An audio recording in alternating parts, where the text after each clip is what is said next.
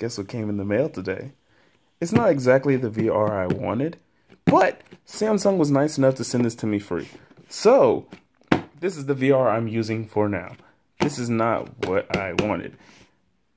But it's compatible with my phone, and I'm gonna see if I can set up some recordings with it and get some games in or something. It would be nice.